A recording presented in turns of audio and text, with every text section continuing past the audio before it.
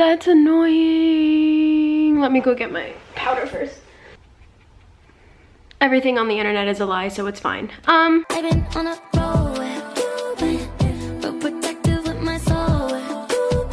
everyone, my name is Emilee and today I'm going to be doing a what I learned in my four years of high school slash high school advice slash college application advice video. I'm actually filming this on a Friday. It's around noon-ish um, and I have to be at school by 1 o'clock and I'm getting picked up in 15 minutes. So let's hope I can film this right now. So about a week ago, I posted a question thingy on my Instagram story asking you guys if you guys have any questions about college and applying to colleges and what you should have on your college applications like extracurriculars, stuff like that. And also just things that I learned about people and myself in high school. And I got quite a few responses. Just a little backstory on my high school experience before um, I get into all the questions. I was the only person from my middle school to go to my high school, so I didn't know anyone at all. I had a complete, fresh, clean slate. And also my high school is really small. There's around 100 kids per class. And I go to a middle college, and that basically means that you can take college classes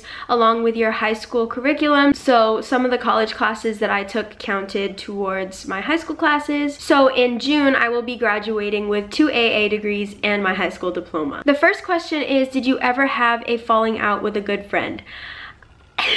if you went to my school or just know me in general, you would know that I have had a few falling outs with a good friend.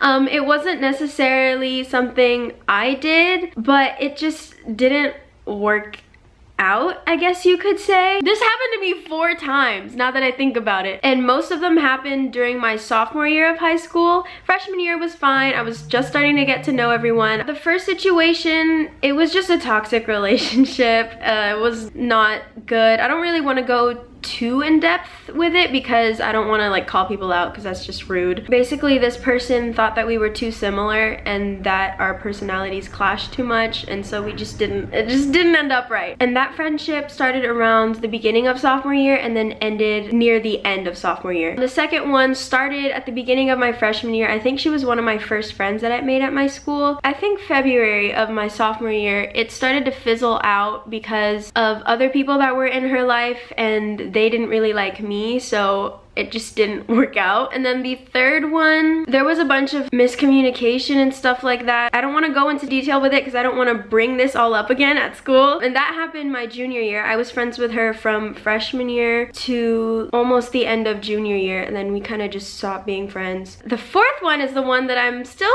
like I'm not angry about it, but it just still kind of gets me upset. With this one, I was friends with them beginning of sophomore year and then it fizzled out around like spring break-ish to like summer of that same year. That one's a little more iffy to me because that one, it's like they thought I had a crush on them and stuff like that and that was, mm, Mm, let's not get into this. This is making me a little, oh, okay. And then they started calling me crazy and stuff, and I, okay, let's just continue, okay. The next question is most difficult class. Hands down, AP US History, most difficult class. I passed the AP test. I did everything, I worked hard, and I got a three. I wasn't expecting a four or a five. I just wanted to pass because that class just ate up all of my time. But um, yeah, definitely AP US history. The next question is how to stand out as a college applicant. I think a good way to stand out would be to have something unique and different, like an extracurricular that's a little bit different that you followed from freshman year to senior year. So basically just continuity. So like I was a Girl Scout and I got my gold award in my junior year and I'm still a Girl Scout now. So like I've had that from freshman to senior year. I'm also involved in my church that I've had from freshman to senior year. I know that one's not as unique as the Girl Scout thing, but it's still something. I just think that showing continuity is very important for college applications. Next question, which were you? If you don't understand, you'd ask for help or silently suffer. I think I'm a mixture of both, but I think instead of asking for help from the teacher, especially because I was like new at my school. I don't know, asking teachers just was intimidating to me. It's not like this anymore, but um, I would ask for help, but from the people around me, not necessarily from my teacher. But now I do that a little more often in my senior year because I'm more comfortable with my surroundings. It's taken me like three to four years to become completely comfortable with my school, which is weird. The next question is what advice would you give to someone trying to juggle music, school, and a social life? Don't put so much on your plate because you have those three major things already. You don't want to add too much to each side. So a good balance of all of those things is good. Don't put too much weight into one of them. So like my social life, I hang out with my friends every Friday, sometimes Sunday afternoons after church. I go to most of the dances at my school. I think I put a slight bit more emphasis on my school though. I spend a lot of time doing homework and like I do college classes and stuff so I put a lot of heart and soul into that. And then with music, I have my YouTube channel, my singing channel. If you haven't checked that out, you should. And I'm also in a performing arts group on the side and we've traveled to Nashville, New York, stuff like that. And I think that's really important because it gives you like an artistic outlet to put all your emotions to if you're ever mad at someone. That's honestly how I got through my four friendships that did not work out well. I just channeled it all into music. In my junior year, I only did my performing arts group for one semester, which was like the fall semester. And if you remember from earlier, my falling out with that one friend happened second semester.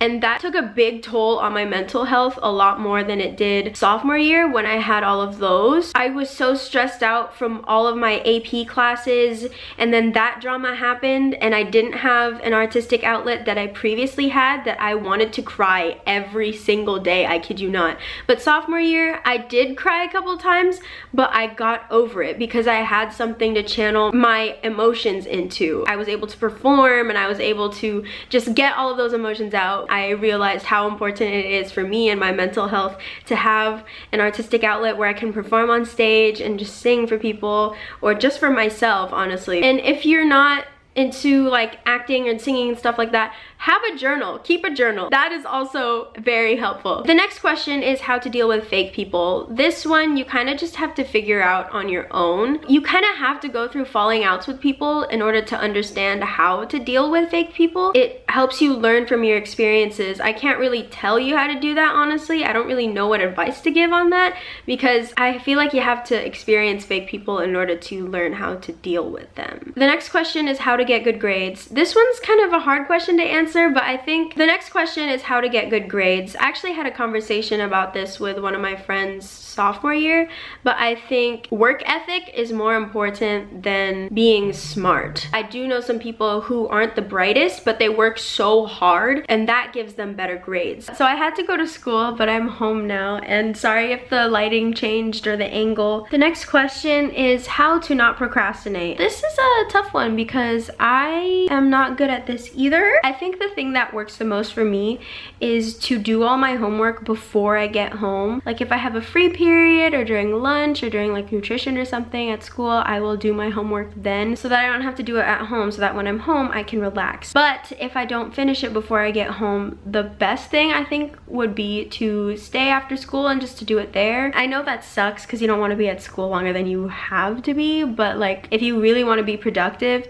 stay after school or like go to the library, go to a coffee shop and do homework there because when I'm home, I'm on full relaxed mode. I don't like to do homework here. If I'm somewhere else, then it motivates me more to finish my homework. Next question, spill the tea.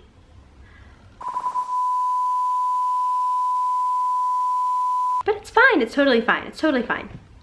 The next question is one thing you regret doing. I don't really regret anything, but if I look back on my whole entire experience, I feel like I could have been smarter with my choices. When I was an underclassman, I think I beat myself up for things that I didn't have to. That's the only thing, but basically people were telling me that I was doing something wrong when I clearly wasn't. And being as naive as I was back then, friendship-wise, I went along with it and I thought that I did something wrong, but I really didn't. And now I realize that and I'm kicking myself. I do not know the answer to this question, Jason, because it's... I'm there too. It's not a very good um, place to be at and I totally get you and I hate it. I hate it very much. I wish I knew the answer to this question but I do not. So, um, you and me both. The next question is, have you experienced being bullied? Not directly like, oh, you suck. You shouldn't go to school here because you're a terrible person and you're ugly. Not like that. But it was more indirectly like I was friends with someone and they just didn't treat me the right way. I feel like that person was just very controlling of the people around them and that's the reason why I feel like it was bullying kind of, but it wasn't direct bullying. And I've had people talk bad about me behind my back a lot um, after all of the four falling outs that I had that I talked about earlier. The next question is the hardest thing you've experienced that has taught you so much. So the hardest thing I experienced was letting go of friends and friendships that I had grown so close to because it was just so new to me. I never really stopped being friends with someone before because I went to a small school with 20 kids in a class. Um, there were 15 guys and 5 girls in my class. So I was so used to just being with the same 20 people all the time and never really having any falling outs that bad. So the hardest thing I experienced was definitely just having to let go of friends. But it taught me how to find fake friends, like referencing to that other question that I got earlier. It taught me how to get over something. The last question is, have you picked a college yet? If so, what is the main factor for you? Um, I have picked a college. I will not say which one yet. The main factor for me is just feeling at home at the college. I went to two college tours. The first one, I didn't really feel like I belonged at that college after the tour, but then at the second school, I felt like I could see myself staying at that school for four years. I could see myself dorming there. I could see myself just there, surrounded by a community of people who would support me. That's how I felt at that college tour. So that was my high school advice slash college Q&A. I hope you guys enjoyed this video. I'll see you guys next time. Bye!